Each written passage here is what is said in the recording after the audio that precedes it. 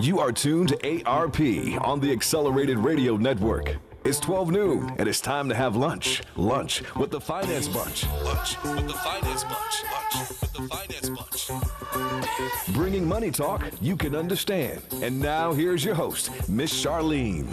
Good afternoon, everyone. This is Miss Charline, and welcome to Lunch with the Finance Bunch. Today, we're excited to have in our studio Mr. Mardi Kari. Hi, Mardi. Hi, Charline. Hi. Hi, everyone. How you doing? Doing excellent. Thank That's you. That's good. Mardi is one of the owners of Arcstone Financial, and they are a mortgage company that is in Los Feliz area of LA. Correct. Exactly. And so, how long have you owned that um, that company? How long? Um, since 2000. 2000. So, 15 years now. Uh, yeah. Yeah. Wow, that's great. It's, it's uh, an accomplishment to get through the um, the downturns of the market. I was going to say that you went through the downturn of the market and came out on the other side still alive. That's phenomenal. It's amazing. Yeah. And actually, we had the best years um, of our um, business uh, within those years, just because we've always maintained an A plus client base, and um, because that's what how we treated everybody, and that's how we put them into the better loans that they should have been into. Right. And none of, most of our, our clients did not uh, encounter foreclosures um, and or short sales or things of that nature. So the um, hardships were minimized on their end. So therefore, many of these people have come back to us multiple times over and over with their family. right. Yeah, no, that's commendable because during those years, it seems like almost everyone was losing their houses or just unfortunate. And if they weren't positioned correctly, it was a catastrophe. So that's a testament to you and your company and what you do. Yep, it's you got to take care of everybody just like they're one of your family members, and how that's how you treat everybody. That's you know you really put them in the right products at that point. Right. Now, speaking of that, what is your background? You came from credit union, right? Yes, uh, Yeah. my um, first job in the mortgage banking world was at the credit union, at uh, Warner Brothers Credit Union, Okay. and um, 19. Oh, maybe I won't mention the year. Okay, that's okay. in the early 1990s. So, and um, basically in underwriting, and then became credit, chief credit officer. Um, moving on to um, you know larger corporations, mortgage banking corporations such as Countrywide, uh, which obviously was. Um, you know, a cor- one of the corporates of the downturn of the market, Yeah. obviously. So, um, my tenure with Countrywide was a very short period of time, and then started the um, you know Arcstone Financial. Yeah, and so from that, having that background, um, especially with credit unions, they're more of a family atmosphere, you know, and they get to know their members and, you know, take good care of them because they are usually people who work for the company that the credit union is from, right? Exactly. So the members So- are the create. I mean, without their shares in the credit union, there is no credit union basically. So you everybody puts their, you know, savings, checking, whatever it may be, Mm-hmm. and predominantly ch- savings accounts with credit unions. Um, and it basically the credit unions comes about, and Mm-hmm. with everybody's pooled funds, um, it goes into lending money to one another, basically. That's that point. exactly what's happening. So yeah. so it's creating an uh, organization of pooled funds to Mm-hmm. help one another, and uh, they hire people like me and you know my business partner was the CEO of the credit union Mm-hmm. um, at the time, Michael Winston, and um, basically we make decisions on credit um, and if the person is a good credit risk or not.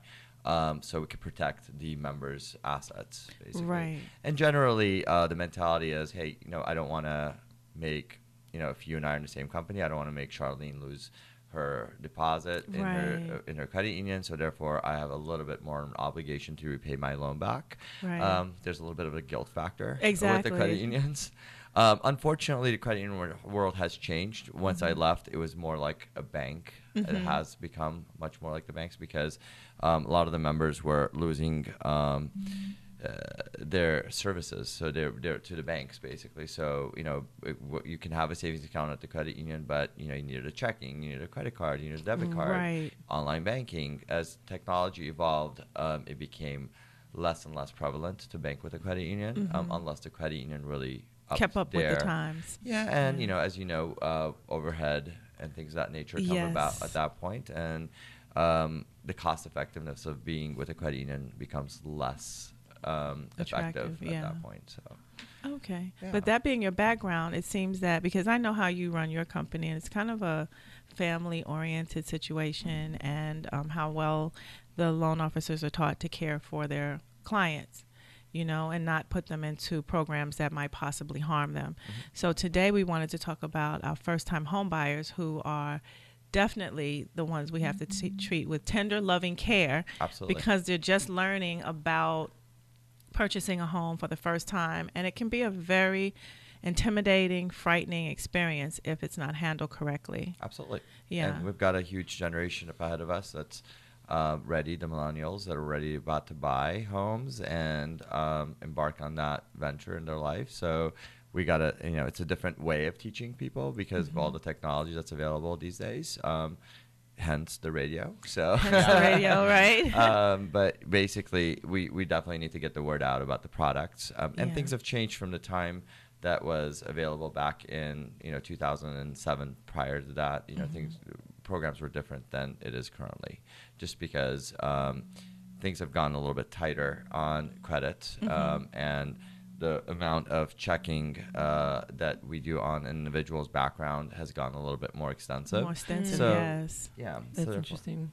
Is it gotten more extensive since 2008 because they weren't doing checks? Basically, they were just credit checks. Absolutely. So prior, so if you look at the early 2000s and um, in the 1990s, technology wasn't as prevalent, so Right. we didn't do Mm. a lot of checking of um, c- credit. Wh- You know, for example, I'll give you guys an example. Right now, it takes us about five seconds to get credit reports back.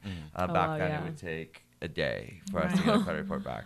Right now, we could check uh, for mu- multiple ways of checking for fraud. Um, back then, there's really no way of checking for fraud, um, other than you know some of the basic information that's out there. Right now, we've got Google that has taken over everything, and Yes, all the that world. information is available to us, so we can find out anything about everything about the person before giving the loan out to that individual. So it's definitely a little bit more um, extensive background check on the person. And yes, in 2008, prior to that, mm, if you had a pulse, you know, we gave a loan out to the individual. Right.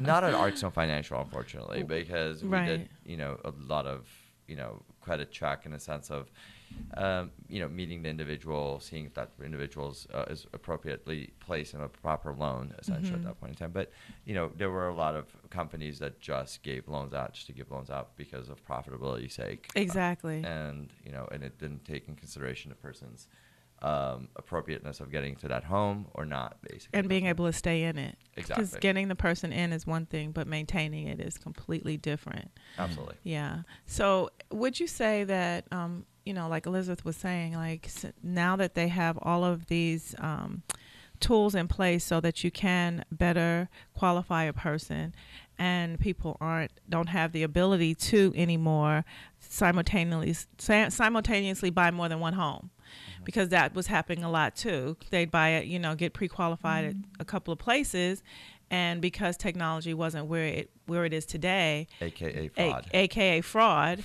right? They could, ten, you know, technically buy more than one home at a time, and That's crazy. I didn't even know. About yes, and so today that's not possible because of the way that you know the credit checks and things are done. So Correct. Yeah. So, um, you know, just like Charline said, I mean, if you're trying to uh, quote unquote pull a fast one, that's really not. it's not going to happen today. yeah, it's less, uh, you know, possible to happen than it used to be, basically. that. Mm-hmm. So now, as a first-time home buyer, um, I remember when I bought bought my first home, I was, you know, nervous, apprehensive, you know, um, and I was in the mortgage indus- industry, and I was still a little bit nervous about, you know, that level of commitment. Um, I was fortunate because I already knew programs, Mhm. and so. You know, but it's still, you know, you think, oh my goodness, that big commitment, you know. But if you have a loan officer and you're with a company that can properly advise you, it makes it a lot less um, intimidating. Correct. Yeah. Right. Um, the philosophy is at Arcstone Financial, at least, is to sit down with the person, whether it be on the phone or whether it be on you know face to face, which Mhm. is preferable, and advise the person um, from A to Z. Um, uh, nuts and bolts, whatever you want to call it, basically, just because the fact that you know it is a huge uh, undertaking of a person. I mean, Right. it's probably one of the biggest investments that you can make uh, in your life. Um, so yeah, it's really important to understand the risks of buying a home, the benefits of buying a home, which to me is huge. Far Um, outweigh the risk. Yeah. Correct. And, you know, at one point, understand the mechanics of, you know, what's required to qualify for a loan.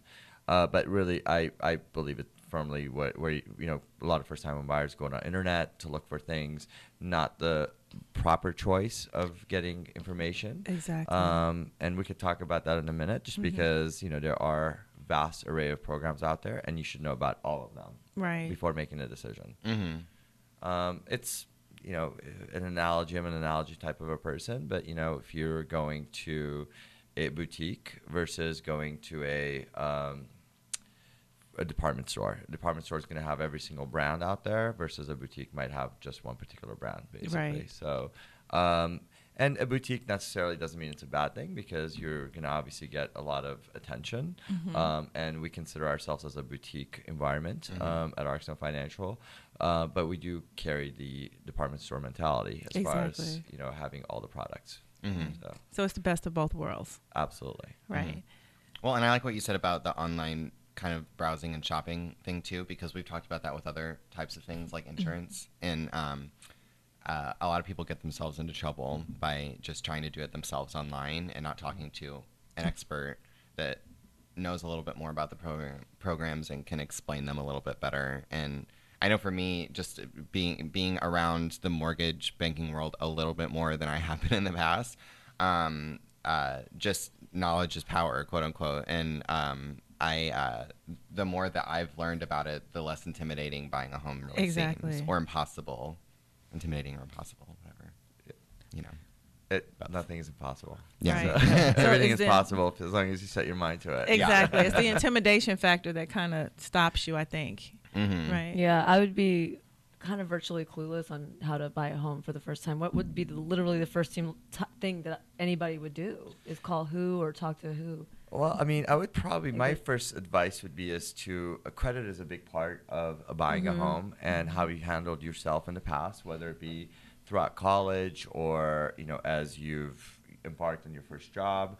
Um, it's really important to maintain good credit. And Okay. the first step is you know there are a lot of you know we talked about online, there are a lot of online resources where you could go to freetocredit.com or um, annualcredit.com, things of that nature, and pull a cop- copy of credit and see what that credit um, score looks like and what kind of you know reporting has been done on your uh, past uh, credit movement per se. So.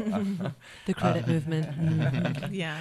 Um, so that said, I mean, I would definitely start uh, with that piece. So uh, is that something that would be on the person that's wanting to buy a home? Find out what your credit is and present it to somebody, I guess. Well, for- start. uh, Yeah, you could do that. Um, that's not necessarily. Do not present your credit, you know, to anybody per se, just because it's going to have your social security number and a lot of fraud and whatnot is going on out there. So Mm-hmm. make sure that your information is secure uh, Mhm. wherever you're getting it from. But um, that being said, I mean, make sure that you understand what your credit is. So if there is a uh, uh, incorrect reporting, such as Got such as a, yeah. um, a late payment of some sort Mhm. that you've made, I would definitely uh, make sure that that's corrected if it's not correct. Um, and- Okay. and, if it is correct, you know, obviously, you know, let's take steps to correct that situation. Get new credit cards and or use that credit card more often to be able to show repayment history, basically. So, Okay. so they could show, oh, yeah, I made a mistake once, but now look at me, I'm much better. Basically. I'm much better, yeah.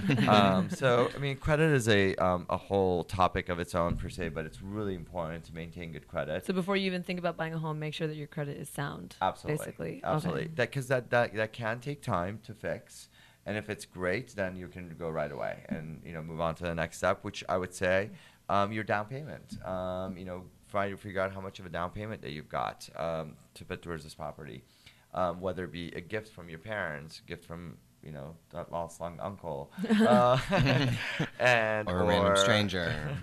Can't be a random stranger. cannot has to be. be. Has really? to be a, Why? No. It has to be a family member Family or a, a member. relative, a close relative.